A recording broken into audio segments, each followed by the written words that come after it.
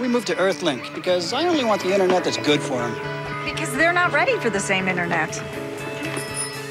We moved to Earthlink because it's safe for him, and I get an internet without training wheels. Different families, different passions, different reasons for moving to Earthlink, like new parental control software, customized features for each child, and filter out websites, emails, even keywords. Call 1 800 Earthlink and get six months of dial up service featuring Earthlink Accelerator at half price. Move to Earthlink, it revolves around you.